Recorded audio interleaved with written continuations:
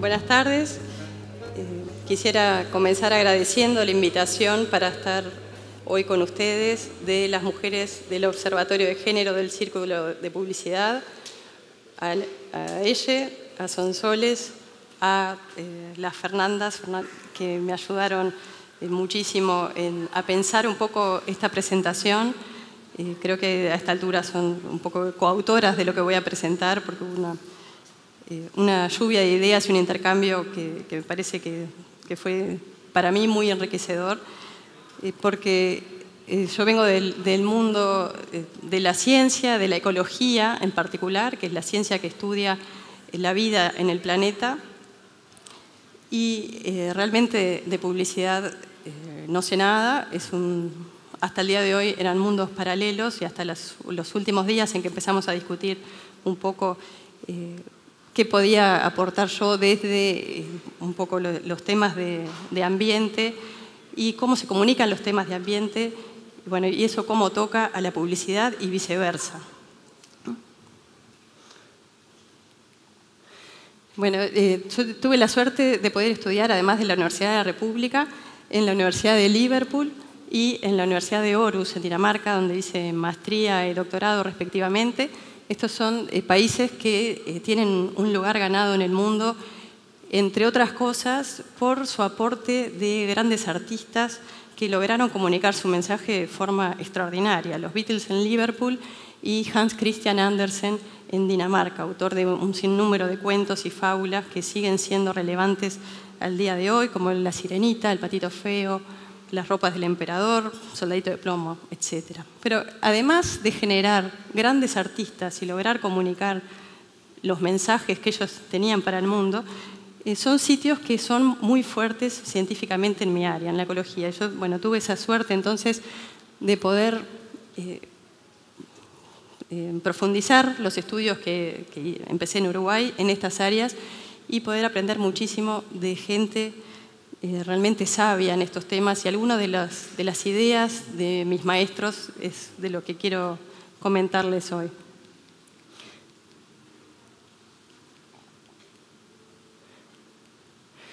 Bueno, esto eh, hay un, el tema de, comunicación y ciencia, hay eh, un, prejuicio creo que muy bien fundamentado de que los científicos somos horribles comunicando que trabajamos en temas incomprensibles y eh, somos eh, aún más eh, ilegibles y, nerds para el resto, que lo que hacemos no, es muy relevante porque básicamente es incomprensible.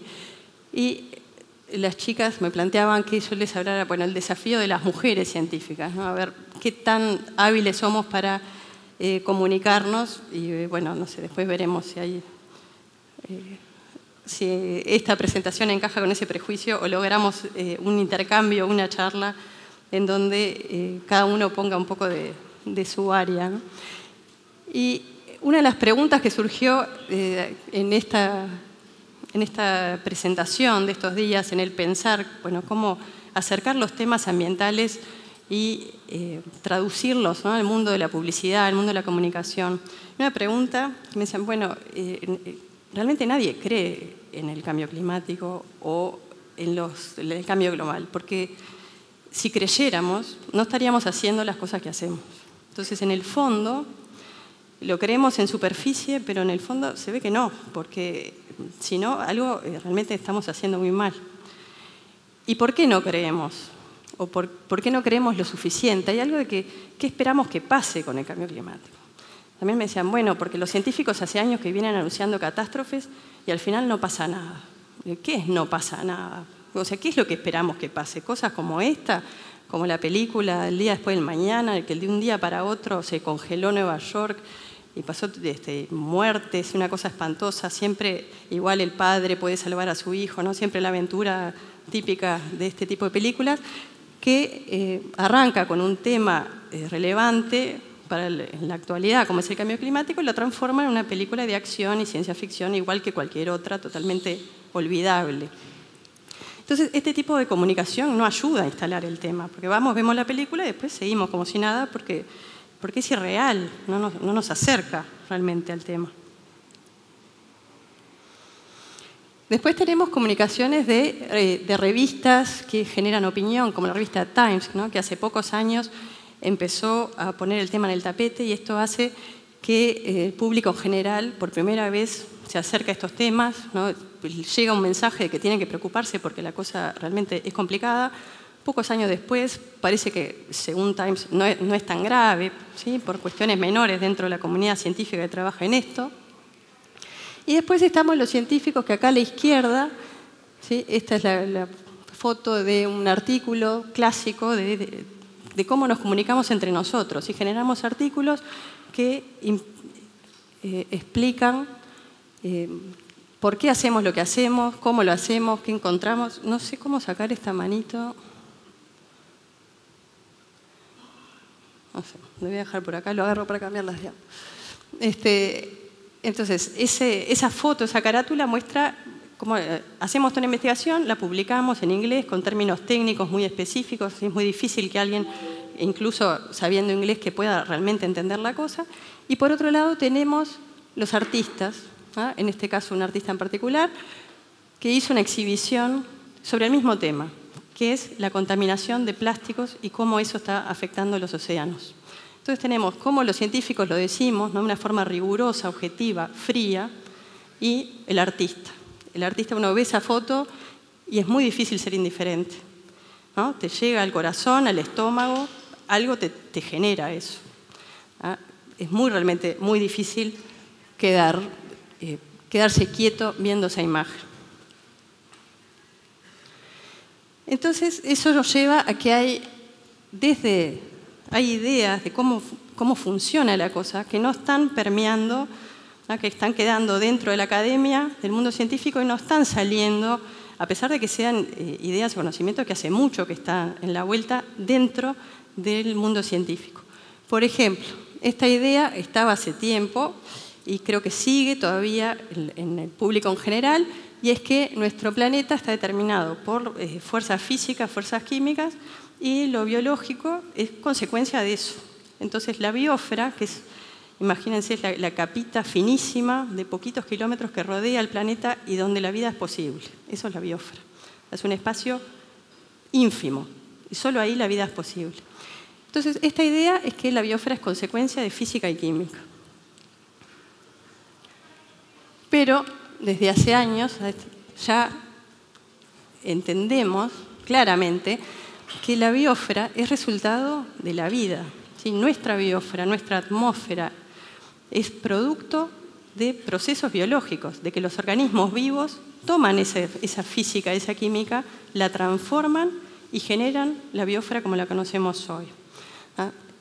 El oxígeno, ¿qué es el oxígeno? Es un subproducto, tomando uno de los términos de hoy, de la fotosíntesis. La fotosíntesis aparece como proceso biológico hace unos cuantos billones de años por parte de cianobacterias, que tal vez han escuchado hablar porque están de moda hoy día como eh, organismos potencialmente tóxicos en el agua, sin la naturaleza del agua. Esos organismos que hoy nos preocupan por sus toxinas generaron el oxígeno que hoy respiramos y que permite la vida como la conocemos.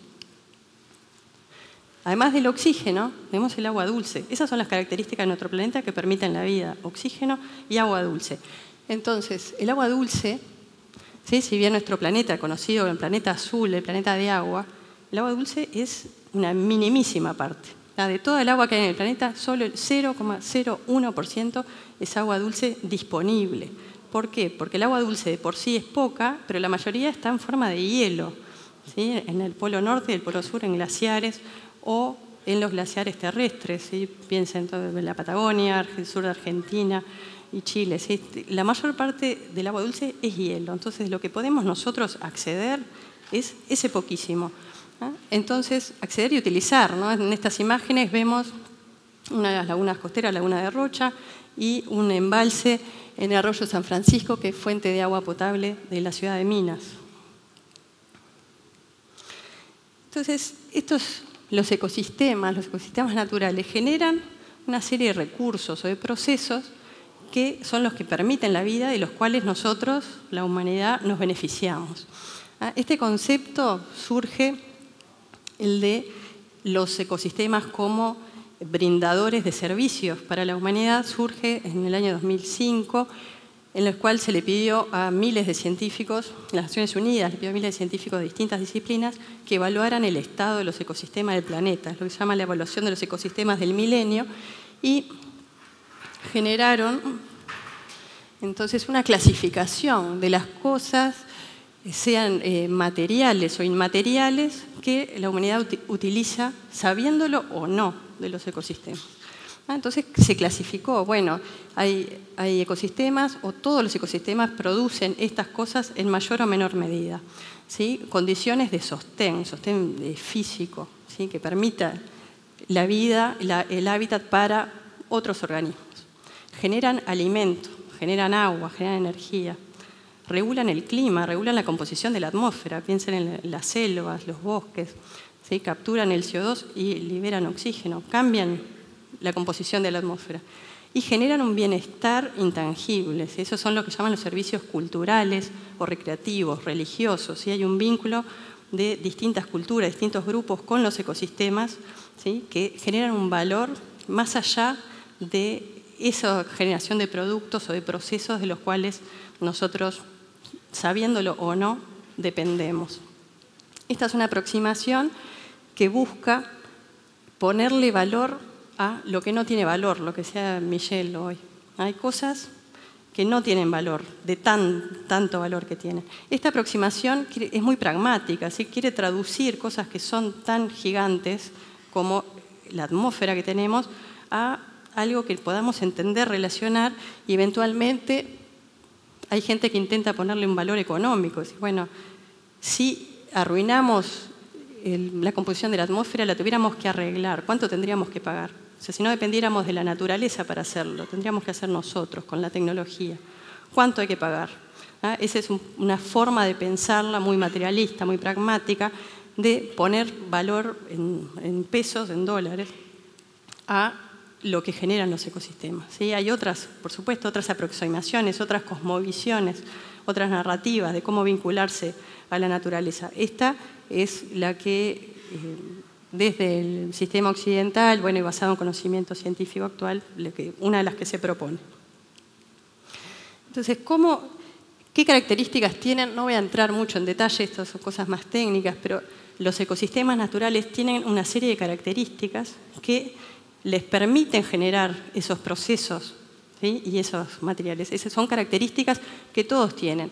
En primer lugar, los ecosistemas en la naturaleza, la mayoría son poco fértiles, que tienen pocos nutrientes, poco alimento disponible para eh, las plantas y demás organismos. ¿Sí? Piensen que nosotros con la agricultura lo que hacemos es fertilizar. En el jardín queremos más plantas, las fertilizamos. ¿Por qué? Porque la naturaleza tiene poco disponible. Hay una gran biodiversidad, cantidad de especies, cantidad de variación dentro de las especies. En general en todos los ecosistemas hay depredadores, organismos carnívoros, que son los que estamos eliminando del planeta, por distintas razones, no vamos a entrar. Todo eso que genera a su vez una, variación, un pool genético, una, variabilidad que hay naturalmente, que es lo que le permite a los ecosistemas hacerse frente al cambio, mediante procesos de selección natural, cambian las condiciones y siempre va a haber alguna especie, alguna variante que va a poder acomodarse, ¿sí? esa capacidad de cambio frente a lo que pasa de afuera.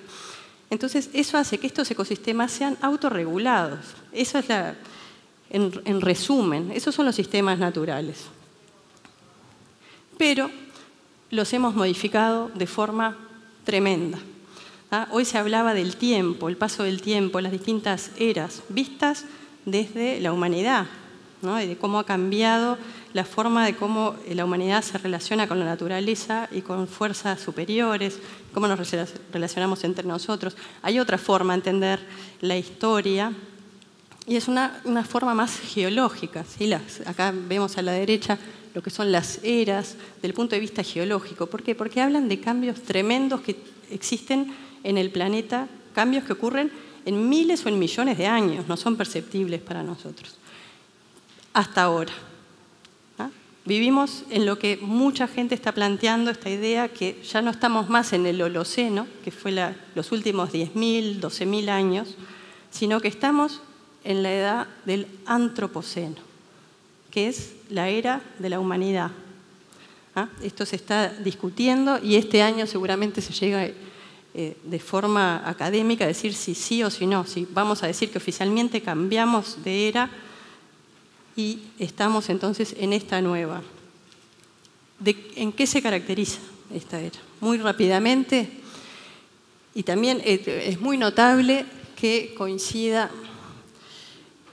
el, inicio de la, de la posmodernidad que se hablaba hoy, se llevaba más o menos a, eh, al fin de la Segunda Guerra Mundial. ¿no? Se planteaba como que ese podía ser un, inicio con, este, con discusión entre los académicos, pero ese puede ser un inicio. Y bueno, ese es el inicio que muchos académicos de esta área plantean para el origen del antropoceno. ¿Por qué? Si miran esta, cualquiera de estas gráficas, vamos a ver por la de arriba a la izquierda, más fácil señalar con la mano allá arriba, es población mundial, a modo de ejemplo. ¿Ah? Todas estas figuras indican una tendencia de una variable social o económica, ¿ah? con las cantidades del lado izquierdo, y acá abajo en el eje de las X, es el tiempo. Y en rojo no lo ven, pero está en 1950. ¿Por qué? Porque la mayoría de los casos, la mayoría de las variables ven que a partir de ese punto rojo se dispara todo. Todo se acelera. Eso se conoce como la gran aceleración de procesos que arrancaron, muchos de ellos con la revolución industrial, pero que a partir de 1950 se disparan. ¿Ah? Entonces la población mundial, el PBI real, la inversión extranjera, consumo de fertilizantes, consumo de energía, población, generación de grandes represas, uso del agua, producción de papel, turismo, telecomunicaciones, teletransportaciones. Todos esos son procesos estrictamente humanos que, dicho mal y pronto, se fueron al carajo a partir de los años 50. Y esto tiene un correlato inmediato con procesos del planeta, hay procesos de lo que se llama el sistema terrestre. Entonces, vemos que hay una asociación. que estamos viendo? De nuevo está marcado en rojo 1950, ¿ah? en, en, la parte de abajo, y ven que en todas estas series de variables también se dispara. ¿Qué es? La concentración de CO2 en la atmósfera, la concentración de óxido nitroso, gases de efecto invernadero, además de ser muy tóxicos, concentración de metano en el aire, temperatura de la atmósfera, temperatura de la superficie terrestre, acidificación de los océanos, y así seguimos. Son respuestas del planeta que coinciden con esos procesos estrictamente humanos. Y es muy notable que eso entonces indica que desde los años 50 hasta hoy, o sea, lo que dura una generación, la generación de, nuestros padres, ¿sí? transformamos el funcionamiento del planeta. Es imponente. Por eso es que hay gente que plantea que esta edad tendría que llamarse la edad de la humanidad, el antropoceno, porque logramos cambiar la composición del planeta. ¿sí? O sea, es una fuerza impresionante a nivel geológico. Ya no, es, no son cambios menores. ¿ah? Estos son cambios realmente gigantes. Esta frase, no hay hechos alternativos. ¿Por qué? Porque desde, muchos gobiernos, actualmente con Trump a la cabeza, ¿sí? dicen, no, estos son hechos, pero hay otros hechos. Dice, no, no hay otros hechos, los hechos son hechos. Podemos discutir qué hacemos con esto, pero estos son datos, estos son hechos, esto es así y hay suficiente evidencia para demostrarlo. ¿Qué hacemos? Ahí ya pasamos a otra situación. Entonces, en esa misma línea, otro grupo de científicos plantea este concepto, el de los límites planetarios. Esta es una idea que surge en el año 2009 y ha ido evolucionando, enriqueciéndose con aportes de distintas disciplinas y plantea que hay nueve procesos que le dan estabilidad al planeta y a la vida tal como la conocemos.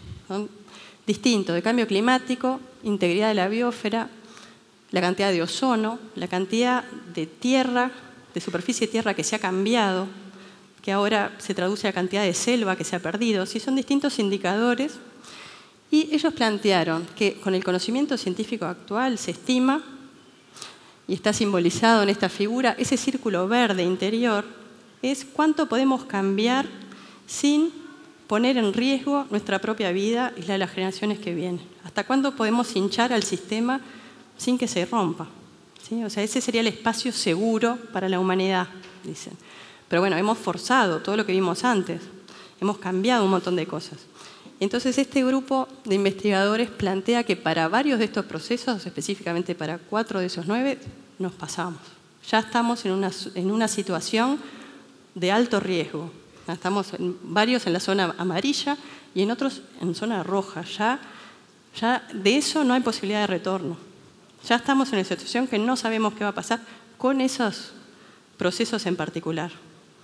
¿Ah? Un poco eh, también lo que cosas que planteaba Michelle, ¿no? Hay situaciones que se van dando de a, poco, pero llega un momento en que cambian, ¿no? Esa saturación que él decía, bueno, acá se plantea, entonces para algunas cosas ya pasamos ese nivel de saturación. No sabemos en la sinergia entre esos procesos hasta dónde pueden llegar a ser las consecuencias, pero que estamos en una situación complicada parece más que claro.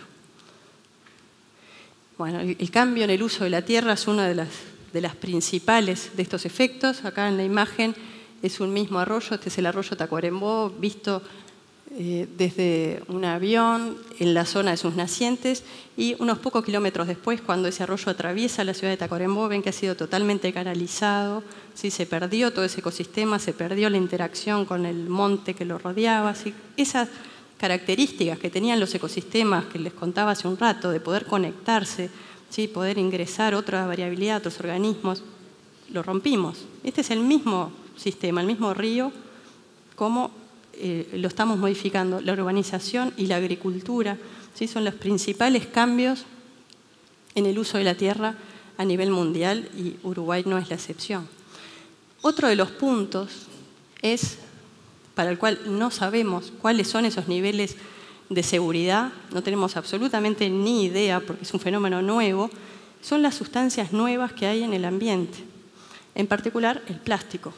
¿Ah? El plástico también surge en los años 50 eh, de forma comercial, si existía antes con usos industriales, pero a partir de los años 50 se empieza a comercializar y todos empezamos a consumir plástico. Y estamos entonces en una situación en la cual se estima que hay más de 100.000 sustancias nuevas que están ingresando al ambiente, para el cual no sabemos qué tipos de efectos se pueden llegar a tener. No sabemos para la mayoría de ellas qué efectos solas generan esas sustancias, mucho menos cuando entran en contacto con otras y con los organismos o con nosotros mismos. Esas sustancias entonces se están liberando al ambiente por cuestiones, muchas de ellas, como les decía, son plásticos, cada vez que lavamos la ropa, y la ropa ahora tiene un componente de plástico enorme, cada vez que tiramos la cisterna en el baño, estamos eliminando, además eh, del agua, los residuos de medicamentos que consumimos. Muchos de esos tienen efectos eh, hormonales sobre organismos y sobre nosotros mismos que después vamos a tomar esa agua, aunque la potabilicemos y demás. Hay sustancias que no se pueden eliminar. Se estima entonces que en unos pocos años, el 2050, va a haber más cantidad de plástico que de peces en los océanos. Más masa de plástico que de peces. Los peces están bajando por sobrepesca y por contaminación y el plástico está subiendo. Y ya en estos últimos poquitos años se está encontrando microplástico, que son partículas de plástico menores a 5 milímetros, muy chiquititas, en el agua potable de la canilla y del agua embotellada en la cerveza y en los alimentos que hacemos con esa agua, en muchos países. Estos son fenómenos globales. Y están generando tanta preocupación que de forma interesante están haciendo reaccionar a la industria. Por ejemplo, la pasta de dientes, esas micropartículas que también usamos en las cremitas exfoliantes y demás, es plástico, es microplástico, que la industria farmacéutica y cosmética de Europa resolvió por motu propio que viene de la presión de los consumidores, eliminar en pocos años.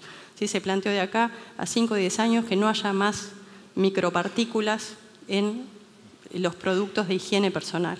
Gran avance que viene a partir de esa presión de los consumidores de, eh, bueno, que no sabemos qué está pasando. Esa situación está generando entonces una reacción y bueno, alguna gente está reaccionando a tiempo. Y algo que es fundamental tener en cuenta es que los efectos del daño al medio ambiente no son iguales para todos. Así como la pobreza extrema y la riqueza extrema ambas degradan el medio ambiente, por un lado la pobreza porque eh, no tiene otra alternativa, hay muchísima gente en el mundo que no tiene más remedio que usar el, eh, el suelo hasta sus últimas consecuencias, hasta que ese suelo no de más, o usar el agua que tiene y contaminarla porque no tiene saneamiento, ¿sí? no tiene más remedio, no tiene otras opciones. Eso por un lado, por el otro tenemos la riqueza, el consumo, el ultraconsumo, generando entonces esa degradación y esa demanda de recursos de su lugar y del resto del planeta. Pero ¿quiénes sufren las consecuencias? Aquellos que no pueden elegir dónde vivir, que no pueden mudarse, vivir cerca de una fábrica, que no pueden eh, mudarse de eh, zonas inundables cada vez que hay inundaciones por lluvias extremas provocadas por el cambio climático, por ejemplo, que no pueden evitar las enfermedades que transporta el agua contaminada. Entonces hay una responsabilidad, además de con las generaciones futuras, con las generaciones presentes, así que como siempre eh, van a estar entonces los mismos grupos sufriendo más esto y dentro de las poblaciones vulnerables son las mujeres y los niños quienes más eh, sufren entonces de la degradación del, ambiente en el que viven. Y bueno, ¿qué pasa en Uruguay? Uruguay, como eh, casi todo, todo llega este, un poco tarde, ¿sí? a nivel mundial los temas ambientales hace rato que están arriba de la mesa por distintas razones. En Uruguay es realmente eh, novedoso tiene pocos años que el ambiente sea un tema de debate público, sea un tema que genera eh, marchas, contramarchas, discusiones de, distinto tipo. ¿Por qué? Porque nuestro país cambió mucho en pocos años, en, muchos temas, y el ambiente es uno de ellos. También hemos transformado nuestro territorio. En unos 15 años se intensificó lo que es la, matriz productiva, decimos, el uso de la tierra. Hay una intensificación agrícola, ¿sí? acá vemos en el fondo plantaciones de soja, y un avance del complejo forestal, ¿sí? las grandes empresas, las grandes pasteras, eso ha cambiado un poco lo que es el paisaje de nuestro país. Salimos, ya no somos más este, los productores de, ganado como única eh, fuente de, ingreso. Esa es una imagen que sigue siendo la de la izquierda, parte de nuestro paisaje, pero cada vez es más frecuente un paisaje agrícola intensivo, que eh, llegó entonces en los últimos, más o menos en los últimos 15 años, y que tiene consecuencias prácticamente inmediatas, entre otras cosas, sobre la calidad del agua dulce la calidad del agua superficial en nuestro país. Estamos hablando de lagos, ríos, arroyos y lagunas. Estas son imágenes del efecto, entonces, que está muy eh, claramente demostrado el efecto entre la intensificación agrícola y qué es lo que pasa en nuestros ecosistemas. Si de vuelta hemos quebrado esa capacidad de regulación que tenían los sistemas naturales. Esta es una imagen, una fotografía aérea de la laguna del Sauce, que es la fuente de agua del departamento de Maldonado, esto fue hace unos años, ese color verde que ocupa toda la laguna, estamos hablando de una laguna que tiene 15 kilómetros de largo y otro tanto de ancho, si son tres lagunas conectadas, todo ese manchón gigantesco verde, lo que se llama un bloom o una floración, es el término técnico, que es un crecimiento desmesurado de microorganismos que hacen fotosíntesis, por eso el color verde. Las famosas cianobacterias que generaron el oxígeno y siguen generando el oxígeno en nuestra atmósfera, pero de especies potencialmente tóxicas. Hasta ahora esto ocurre y ocurre, se va, sí, son, son dinámicos estos sucesos, pero cada vez son más frecuentes y cada vez eso demanda una eh, reacción eh, más fuerte de los sistemas potabilizadores. Tiene que hacer mucho más esfuerzo para que el agua que tomamos sea eh, aceptable, sea potable, porque el agua en la naturaleza está cada vez más deteriorada. Seguimos pudiendo tomar agua que en otros países ya no. Y eso nos lleva a esa situación, el agua en el Uruguay. Ah, es, es uno de los temas ambientales que está en el tapete en los últimos años, sobre todo, esto fue en el 2013, cuando eh, la mayoría eh, somos de Montevideo, ¿sí? cuando recordarán que el agua empezó a salir marrón y con olor feo por semanas. ¿Por qué? Ocurrió una de estas floraciones de este tipo de organismos y superó la capacidad de la OCE de tratar el agua. No fue una especie tóxica, por suerte. Tuvimos mucha suerte. ¿Ah? El agua fue intomable, pero no hacía mal a la salud. Eso puso el, tema del agua arriba de la mesa. Por primera vez en Uruguay, fuera del mundo científico, todo el mundo empezó a hablar del agua y generó una cosa muy loca, que es que pasamos de pensar que el agua nos sobraba y que era un montón, que todos éramos orgullosos de la cantidad de agua que había en nuestro país, a que ahora todo el que puede no toma agua de la canilla y toma agua embotellada. Eso es, eh, impresionante cómo en poquísimos años se cambió una costumbre, un hábito basado en una creencia que se instaló y que ni antes teníamos tanta agua y era tan buena, ni ahora es tan mala. Pero este, este paradigma cambió. Y lo más loco del agua embotellada es que para producir la botella de agua se consume cuatro veces más agua dulce de la que está dentro de la botella, además de petróleo, además de energía, eh, además de toda la, basura que generamos con cada botellita, que eso va al ambiente y contamina el agua. Entonces, una respuesta a un miedo que se generó, lo que hacemos es potenciar ese problema, por ese, cambio que tuvimos ante ese cambio de percepción. Y además, la seguridad sanitaria, la mayoría de las aguas embotelladas son agua de canilla, que las empresas embotellan. Le ponen burbujas y es la misma agua, la mayoría, no todas. Pero eh, no podemos estar seguros que lo que contaminaba la superficie no va a estar en las aguas más profundas. Pueden ser un poquito mejor, pueden, pero capaz que no. O sea, tampoco tenemos esa certeza. Entonces hay toda una creencia que muy rápidamente se instaló y que genera un empeoramiento del problema. Entonces ahora, eh, cositas eh, brevemente técnicas, pero, pero a tratar de, de que sea lo más comprensible posible.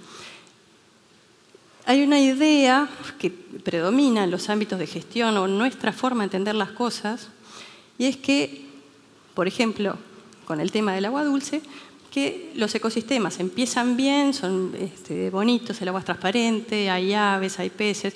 Bueno, se van agregando esos nutrientes, por ejemplo, los fertilizantes, por ejemplo, las aguas que no son tratadas, las aguas domésticas, y ese ecosistema empieza a deteriorarse de a poquito hasta que termina en esa situación. Entonces, si eso fuese así, simplemente bajando la fuente de contaminación, vamos a ir retrocediendo esos caminos y va a estar todo bien. Es un poco esa idea. Eso a veces funciona, pero en realidad la mayoría de los ecosistemas no funcionan así. ¿Qué quiere decir? En las condiciones extremas sí pasa eso. Si tenés un lugar muy preservado, el agua va a estar buena. Si tenés un lugar con muchísima contaminación, el sistema va a estar turbio y con estos problemas que hablamos. Pero en toda una situación intermedia es probable que estén las dos situaciones, que esa agua pase de, una forma a la otra, que esté intercalándose o eh, cambiando entre esos estados alternativos, es como se llama. ¿Y eso por qué pasa? Porque hay una serie de procesos que generan que cada sistema se mantenga como está y que entonces pueda volver a la situación anterior, lo que se llama la, resiliencia del ecosistema, ¿sí? la capacidad de volver a su estado previo, aunque se haya modificado un poquito. Y esos mecanismos que dan resiliencia, no los voy a mencionar, pero ocurren en el, tanto en ese estado conservado de aguas transparentes, hay un montón de procesos físicos, químicos y biológicos que, que lo mantienen. Así que dicen, bueno, si se perturba un poco, capaz que responde ese ecosistema, pero va a volver y va a seguir siendo claro, transparente y demás. Hasta que en un momento se quiebra, pero va a aguantar. ¿Por qué? Porque tiene todo ese conjunto de características que lo mantienen así. El estado de agua turbia también tiene una serie de procesos físicos, químicos y biológicos que lo mantienen.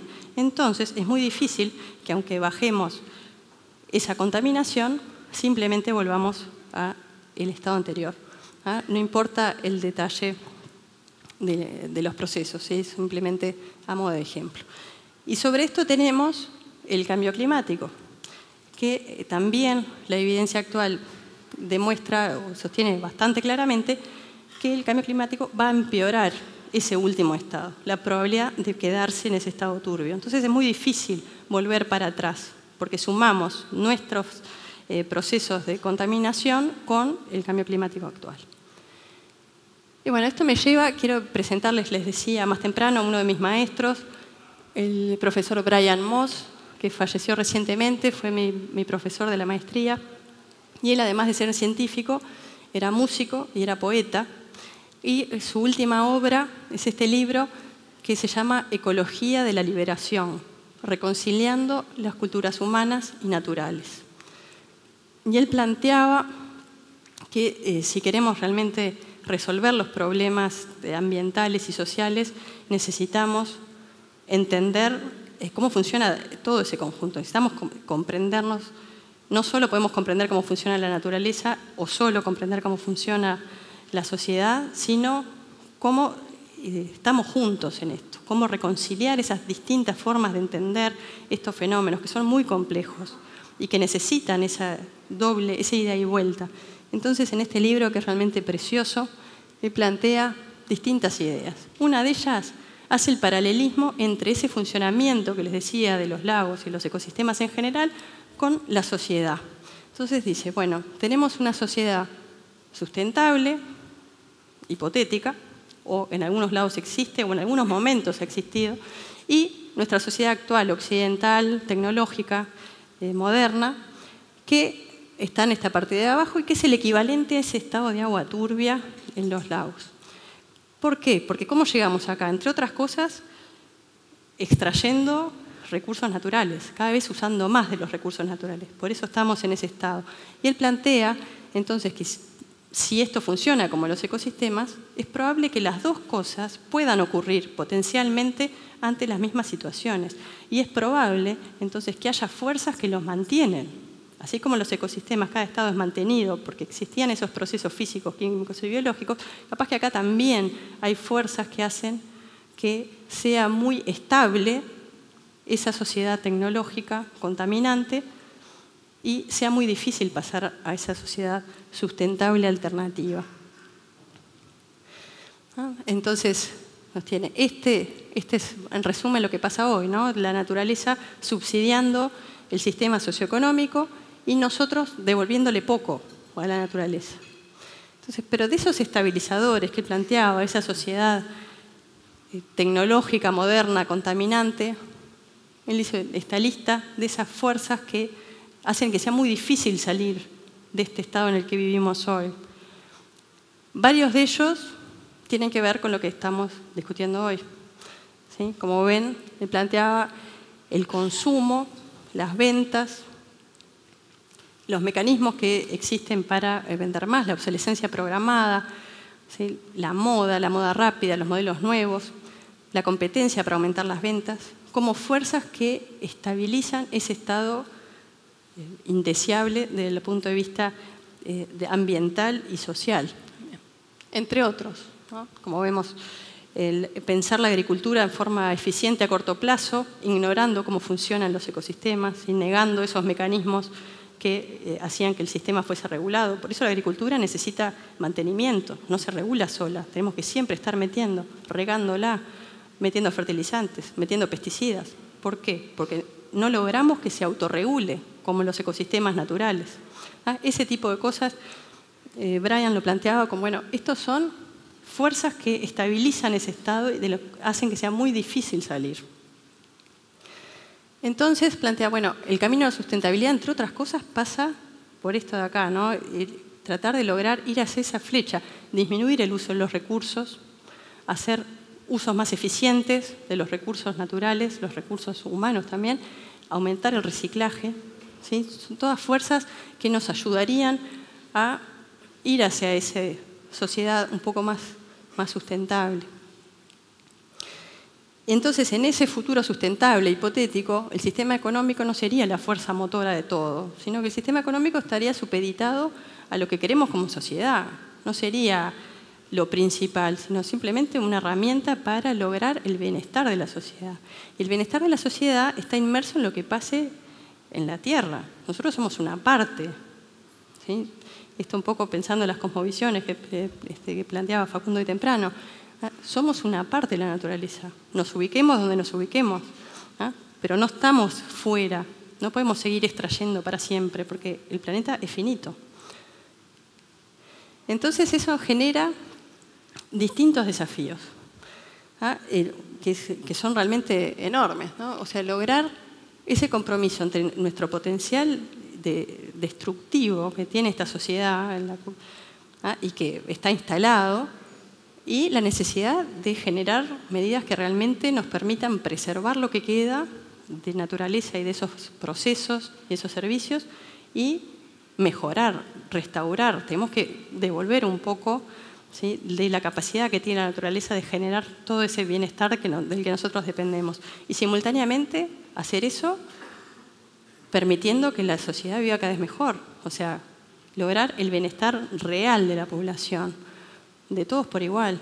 ¿ah? Entonces es un desafío eh, realmente importante. Entonces, ¿cómo entra la publicidad? Y acá puede ser la publicidad una herramienta de cambio o no.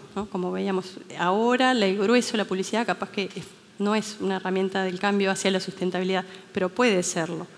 Como vimos un poco también en la presentación de Magali, la, publicidad genera, construye valores, genera cambios de actitud y luego genera valores, como contra el racismo, contra la discriminación, empoderando a las mujeres. Bueno, hay un potencial ahí. Pero bueno, hay que ser muy crítico. Hay, hay, publicidades que realmente son muy efectistas, y, pero que realmente, a pesar de que están basadas y tienen una muy buena intención, uno ve esto y es, es, como muy difícil realmente vincularse y creer que algo, o sea, es, es demasiado irreal. Y el ser tan irreal logra que no hagamos nada, nada cambia, porque realmente no, no nos toca esto.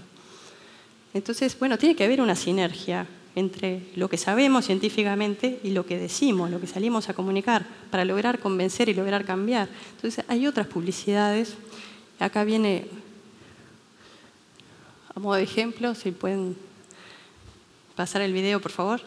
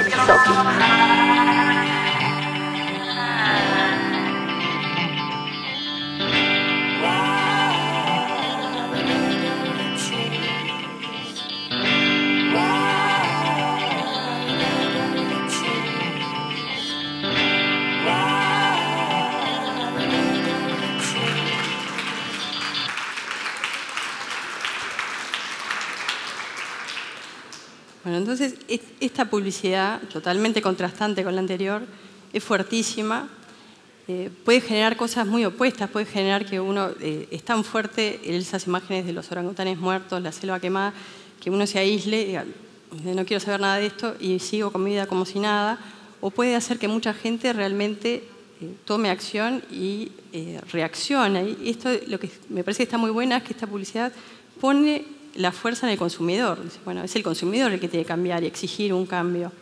No, le pega solo a, una marca en particular, en realidad nos está eh, confrontando como consumidores. ¿Qué es lo que consumimos y los efectos que eso tiene eh, sobre otras personas en el mundo o sobre el ambiente en general? Entonces, bueno, eso eh, ah, genera en el mundo de la publicidad hay, mucho de esto. Yo, como les contaba recién en los últimos días, entré a, empaparme un poquito más. ¿sí? Y, bueno, hay mucha, eh, mucha publicidad eh, que, es el muy conocido greenwashing, ¿no? o sea, una, una apariencia, no hay realmente un afán de, de cambio profundo, sino una apariencia. no hay un respeto genuino hacia el consumidor, pero los consumidores son cada vez más críticos, somos, el público es cada vez más crítico, cada vez sabemos más, cada vez hay más pedido de cosas diferentes, hay una sensibilidad distinta en distintos temas, desde de los temas de, justicia social, de empoderamiento de las mujeres, de valoración del ambiente. Hay una sensibilidad nueva que está instalada y que exige otras cosas. Entonces hay que estar también, eh, todos tenemos que estar eh, a la altura de este desafío de planetario que eh, nos interpela a todos, ¿no? a todos los que estamos compartiendo esta nave. Entonces, con, con esta este, eh, frase de, mi maestro, eh, quiero cerrar. Y bueno, diciendo, en esto, eh, como decía, estamos, estamos todos y claramente desde la ciencia necesitamos aprender muchísimo cómo comunicar, cómo llegar, cómo, cómo tocar la emotividad de las personas, y no, no ser una una generación de cifras frías, sino realmente eh, tocar la emoción, porque es la emoción la que logra que uno cambie, que uno que fuerza a, pensar las cosas, replantearse uno cómo vive o, sus acciones y cómo, cómo, se ubica con los demás. y bueno, entonces tenemos mucho para ayudarnos mutuamente. Muchas gracias.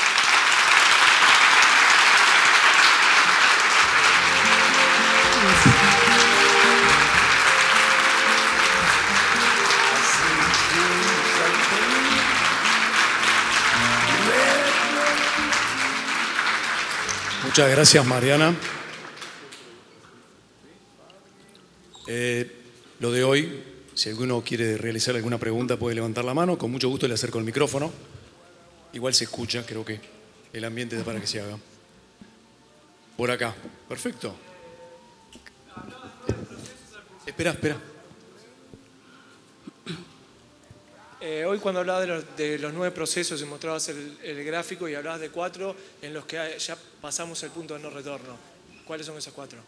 Esos son cambio climático, eh, el pérdida de biodiversidad. ¿sí? Estamos, la tasa de extinción de, especies es 100 veces o 1000 veces, según cómo se calcule, más rápida que la, que la pérdida natural de especies. Y los cambios en los, lo que llaman los ciclos geoquímicos, que es la cantidad de nitrógeno y de fósforo que hay en la vuelta. ¿Sí? Lo que le decía, ¿no? Esos son, son sustancias que normalmente están en, poca cantidad y el nitrógeno está en el aire, ese es el, el, sustento, el, reservorio, y ahora lo hemos logrado eh, generar industrialmente y lo estamos agregando mediante los fertilizantes. Es el, el fósforo lo mismo, el fósforo naturalmente está en, en rocas, hay muy pocos lugares en el mundo que tienen yacimientos de, de fósforo, y ahora lo estamos generando, sacando de ahí y distribuyendo como fertilizante. Eso y los cambios que eso genera es lo que ya nos pasamos. Cambio climático, biodiversidad que perdemos y, esos ciclos. Y el cambio en el uso de la tierra, según cómo se estime, también estamos ahí. Casi, ahora se propone pensar el porcentaje de selva o de bosques que, se han perdido respecto de 1950, ¿no? que es como un poco el, ese punto cero. Ah, Mariana, eh, muchas gracias, estuvo buenísima. Este, quería saber un poco más de esa campaña que mostraste de Greenpeace, de Hable con DAV antes de que sea demasiado tarde. ¿Qué pasó? Si eso generó algo, si hubo alguna respuesta de, Unilever en definitiva. Yo me pregunto lo mismo, en realidad. Y eso es algo eh, que seguramente acá eh, sepan contestar mucho más que yo. yo no conocía esa publicidad, y de hecho fueron eh, las Fernandas, por eso decía que son este, coautoras de, esta presentación, que me presentaron esa publicidad, este, entre otras, y esa me pareció eh, particularmente fuerte porque eh, todo lo que presenta es real, ¿sí? o sea, los datos de, deforestación y por la generación de esta, de esta palmera y el aceite que genera para la industria cosmética, o sea, es una de las marcas, ¿no? pero es toda la industria cosmética, y que el orangután está en peligro de extinción. Todo eso es real. Entonces, eh, y me pareció tan fuerte, ¿no? Son imágenes que realmente sacuden. Pero no sé qué pasó. Eso, este, e-, esa es la cosa, ¿no? Ver qué, generan estas, estas campañas y si... Eh, yo creo que, que han generado cambios. De repente, no sé si alguna de las chicas lo sabe, pero me parece que sí. Esto que, te, comentaba antes, ¿no? las, las, empresas farmacéuticas y cosméticas de Europa diciendo que no van a usar más, más plástico, ¿no? Las, los esfoliantes, esas partículas, porque la reacción del público, cuando se salió un artículo científico el año pasado diciendo que la cerveza en Inglaterra, casi todas las marcas tienen microplástico. Y eso entra en la corriente sanguínea y no se sabe qué puede pasar. Es tan nuevo que no, no sabemos, pero que bien no nos va a hacer. Eso seguro. Entonces, eh, el, pánico que eso generó, es decir, hasta la cerveza, ¿eh? Como, eso generó más pánico que el agua potable en Inglaterra. Entonces, está, ahí la industria tuvo que reaccionar. O sea, no se espera una ley, sino que se adelantaron y reaccionaron. O sea que se puede. Gracias, Mariana. Siguiente pregunta al señor allá. Sí, acá, Mariana. Hola. Hola. ¿Cómo ves el futuro inmediato y a mediano plazo de ese recurso tan importante que tenemos en Uruguay, que es el acuífero guaraní. Y sumado a eso, ¿cómo, eh, ¿cuál es tu visión de la comercialización del agua a nivel internacional? Eh, bueno, el acuífero guaraní es, este, bueno, como sabes, es compartido con, con varios países, es una reserva de agua inmensa, difícil de explotar por la profundidad en la que él está en, muchos casos. Y bueno, es un tema este, estratégico, ¿no? Que una, reserva de agua que es impresionante, que está ahí y eh, está siendo contaminado en algunos lados, en otros no, porque sí son acuíferos realmente muy profundos. No es mi área, no estoy con lo último, lo, mío es más lo que está en superficie, los lagos y los ríos, pero eh, como que está en la agenda, entrando a estar en la agenda ahora, un poco eh, como respuesta de esa contaminación de las aguas superficiales y que hay que pensar otras fuentes alternativas de agua. Lo que sería interesante es, en vez de seguir buscando qué otro lugar explotar y eventualmente contaminar, tratar de, revertir la contaminación que tenemos hoy, ¿no? seguir en esa lógica. Y, tu segunda pregunta sobre el agua embotellada, como decía, es uno de los, de los problemas eh, de los últimos años, ¿no? es como una moda. Este, hasta hace pocos años todo el mundo iba, uno salía a comer afuera y pedía agua de canilla y ahora no, ahora como que, como estuviera mal visto. En Uruguay y en otros lados más, ¿no? Esto es una, son fenómenos realmente globales y, es bien complicado. Eh, por eso, ¿no? Por todos esos efectos que genera, además del costo económico. Estamos pensando, Uruguay es uno de los pocos países que tiene abastecimiento de agua potable en casi todos los hogares, prácticamente todos. Es el único alimento que todo el mundo puede acceder abriendo la canilla y con un costo bajísimo. Y eso está cuestionado y en peligro y estamos dispuestos a gastar miles de dólares en agua embotellada cuando la tenemos ahí. Y en muchos casos es la misma agua. es, es bien interesante el fenómeno. A ti.